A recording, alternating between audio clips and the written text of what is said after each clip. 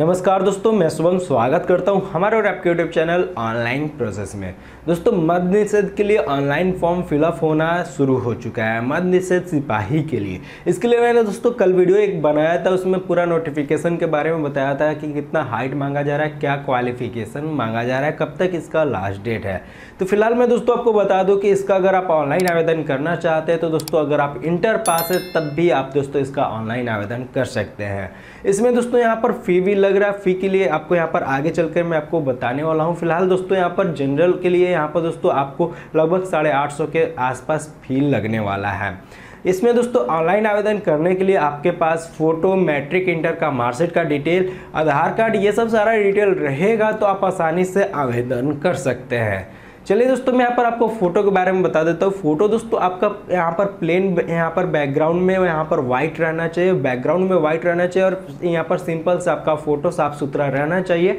और यहाँ पर हिंदी इंग्लिश सिग्नेचर रहेगा तो आप आसानी से आवेदन कर सकते हैं। तो चलिए दोस्तों, यहाँ पर इसके बारे में स्टेप बाय स्टेप जान लेते हैं कैसे आवेदन कर सकते हैं। एक और ज़रूरी बात, अगर आपका आवेदन करते हुए कहीं पर भी गलती हो जाता है तो आप इस अप्लीकेशन को कैंसिल कर सकते हैं। कैंसिल करके आप फिर से दोबारा अप्लाई करेंगे तो दोबारा अप्लाई करते हो तो आपका वो पेमेंट लगेगा। पिछला पेमेंट आपका बर्बाद हो जाएगा। तो चलिए दोस्तों, यहाँ पर मैं आपको नया यहाँ पर फॉर्म अप्लाई करने के बारे में बता देता हूँ कि कैसे कैसे यहाँ पर आपको फॉर्म अप्लाई करना है। वो भी दोस्तों स्टेप बाय स्टेप अगर आप इस वीडियो को अंत तक देखते हैं तो आपका step by step form fill up हो जाएगा। आपको कहीं पर भी प्रॉब्लम नहीं आएगा। अगर फिर भी आपको कहीं पर भी प्रॉब्लम आ रहा है तो आप हमें नीचे कॉमेंट बॉक्स में कॉमेंट करके ज़रूर पूछिएगा। तो चलिए दोस्तों वीडियो स्टार्ट करते हैं। वीडियो अच्छा लगे तो वीडियो को लाइक ज़रूर कीजिएगा। फाइनली दोस्तों हम लोग आ चुके हैं अपने पीसी स्क्रीन में। नीचे स्क्रॉल कीजिएगा। लेटेस्ट जॉब वाले सेक्शन में यहाँ पर आपको C S B C Bihar police वाला यहाँ पर एक ऑप्शन मिल जाएगा। इस पर आपको क्लिक कर लेना है। इस पर क्लिक करने के बाद नीचे स्क्रॉल करना है। यहाँ पर आपको पूरी जानकारी बताई गई है कि इसमें कितना पोस्ट है, कितना पोस्ट के लिए आवेदन हो रहा है, कितना पैसा लग रहा है। ये सब सारी जानकारी बताई गई है। ऐसे मैंने पिछले वीडियो में टोटली क्लियर किया था कि कितना फ़ी लग रहा है, कितना क्वालिफिकेशन रखा गया है सब सारी चीज़ें। तो चलिए यहाँ पर अप्लाई ऑनलाइन वाले पर हम सेक्शन पर क्लिक करेंगे। तो यहाँ पर क्लिक क्लिक पर क्लिक करने के बाद आप इस पेज पर ओपन आ जाएँगे। यहाँ पर दोस्तों सबसे पहले आपको रजिस्ट्रेशन करना होगा तो रजिस्ट्रेशन वाले सेक्शन पर हम क्लिक करेंगे, नीचे स्क्रॉल करेंगे, यहाँ पर पूरी जानकारी आपकी शो करेगी, यहाँ पर डिक्लेरेशन आई एग्री पर क्लिक करना है proceed to registration and payment पर आपको क्लिक कर लेना है। यहाँ पर दोस्तों सबसे पहले अपना फ़र्स्ट नेम मिडिल नेम और लास्ट नेम ये यहाँ पर फिल करना है। उसके बाद दोस्तों यहाँ पर नेशनलिटी आपको इंडियन सेलेक्ट कर लेना है।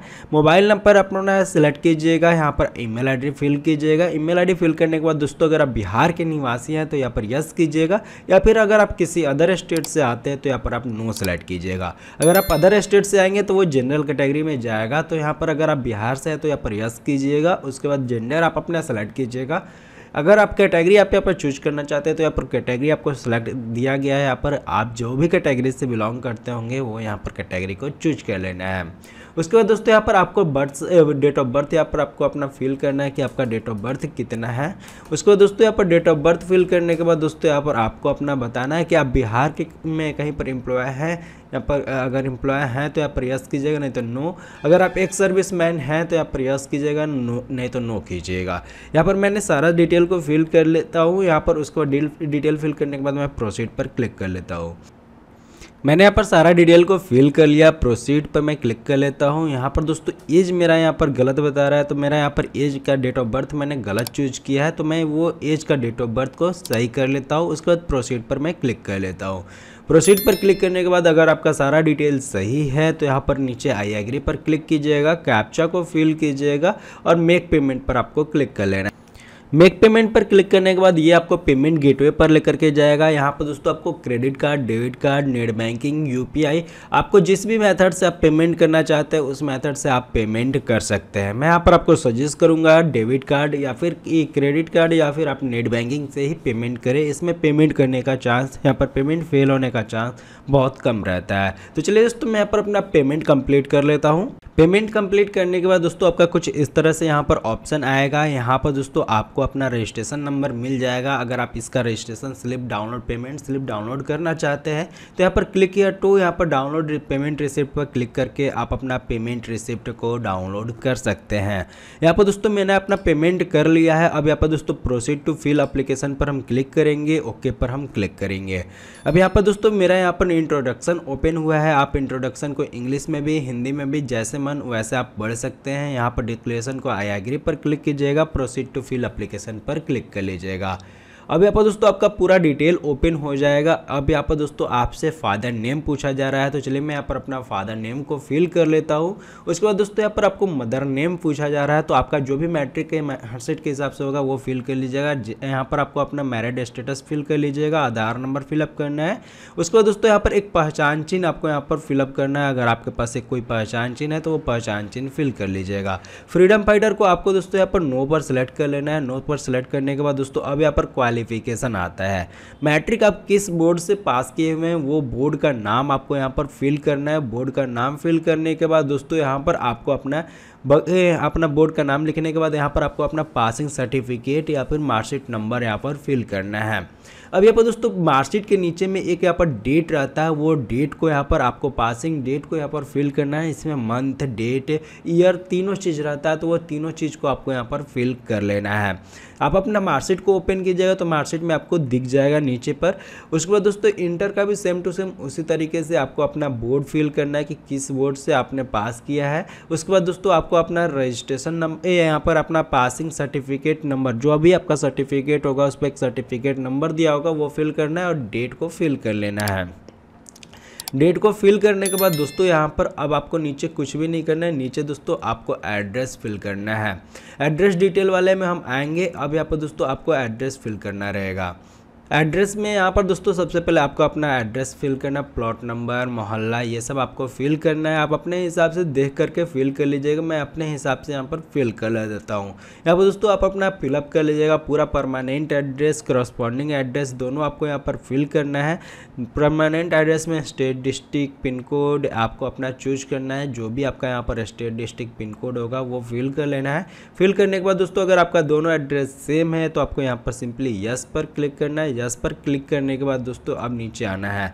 अब यहाँ पर दोस्तों यहाँ पर ये क्रिमिनल केस का यहाँ पर डिक्लेरेशन है तो अगर आपके आप पर कोई कोई भी केस है तो उसके हिसाब से आपको यस नो करना होगा।